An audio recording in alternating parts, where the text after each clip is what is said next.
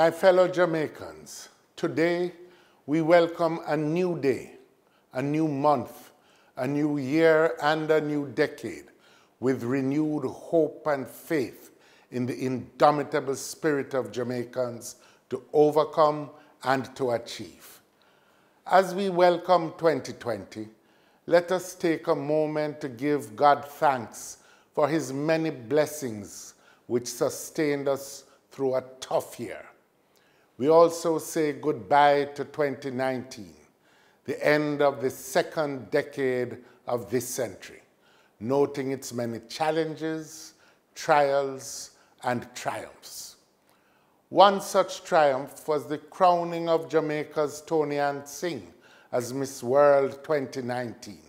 Her confidence, talent, beauty, and intelligence gave the world a glimpse of the best of Jamaica. In reviewing these two decades, we recall proudly launching in 2007 Jamaica's Vision 2030. We committed ourselves then to achieving four overarching national goals empowerment of the people, social security, economic prosperity, and the health and well being of our people. Unfortunately, as we close 2019, it is clear that the dream of Jamaica becoming the place of choice to live, work, raise families, and do business is not on course. Let me remind you that in 2011, continued economic decline brought Jamaica to the brink of bankruptcy. Thankfully, at the end of that year, the country changed leadership, creating the opportunity for the implementation of the Economic Recovery Program in 2012. The success of the program restored macroeconomic stability, and laid the foundations for sustained economic growth. Jamaica's success became the talk of the world. Through leadership and the sacrifice of our people, we turned a sure disaster into a shining achievement. Sadly, this leadership has not built on the foundations for growth set by the Economic Recovery Program since 2016. Even more disturbing is the fact that social and economic inequality has got worse in our country. This is evidenced by the rise in the rates of poverty, murderous violence in our poorest communities, wide-scale robberies in our cities and towns, and the deterioration of our social services, especially our hospitals. The present minimum wage of $7,000 for a 40-hour week is inadequate and a major contributor to the 30% growth registered in urban poverty. With the significant fall in the value of the Jamaican dollar and the rise in the price of basic items the low wages keep many workers poor, as does the increasingly widespread practice of treating many full-time workers as contract workers and thus deny them the fair wages and benefits to which they would otherwise be entitled. Today, I'm giving notice that the opposition will be demanding and fighting for the minimum wage to be increased to $12,500. The spread of violent crime and antisocial behavior continues to drive fear in Jamaicans from all walks of life. For many, the lack of a plan to effectively fight crime has added to their anxiety. Together, we have to find a way to end the culture of violence. Too many of our schools, homes, and communities have been scarred forever by bloodshed. Sadly, as the levels of extreme violence increase, more children, more elderly, and more women have become the victims. Indeed, the targeting of our women in our commercial centers and on our roads has caused paranoia.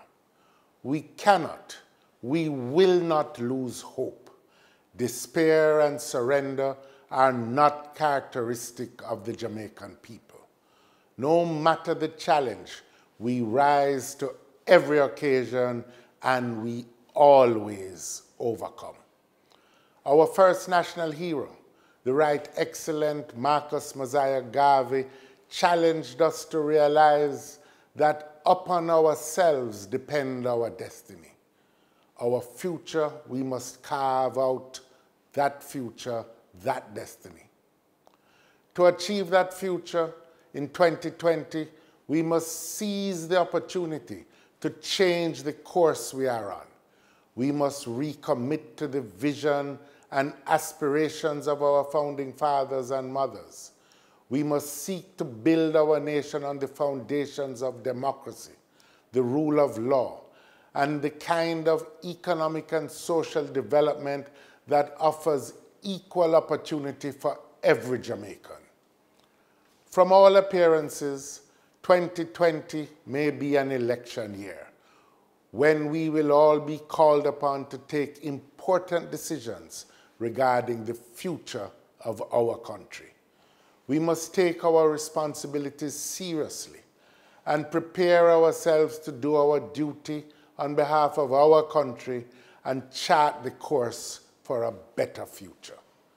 We must look out for the hundreds of thousands of Jamaicans who still exist on the margins of society and who have no access to high quality education we must also remember those who are forced to rely on rundown and crisis plagued health services and who live in squatter communities with inadequate social services and inadequate physical infrastructure. In this new year and new decade, we must launch a national program to foster healthy and harmonious relationships in our homes, our schools, our workplaces, our churches, and our communities. We must transform our education system to give equal opportunity for quality education to every Jamaican child. We are committed to a new national development program that will broaden the base of ownership of land and housing. It will incorporate all, especially workers, farmers, and small business people, providing them with an opportunity to earn a good living. Despite all the challenges, with resilience, tenacity, courage, and good sense, the Jamaican people can build a better and stronger nation. As leader of the opposition, my team and I will continue to be vigilant and hold the government accountable we will continue to demand transparency, integrity, and an end to corruption. Our people deserve a government that is honest, inclusive, compassionate, respectful, and caring. I call on each Jamaican to stand up and be counted for equal rights, equal opportunities, fairness, and justice for all. My fellow Jamaicans, on this New Year's Day, we call upon our eternal Father to bless our land and guard us with his mighty hand. We wish for everyone a safe, productive, and happy New Year. May God bless you all, and may God bless Jamaica, land we love.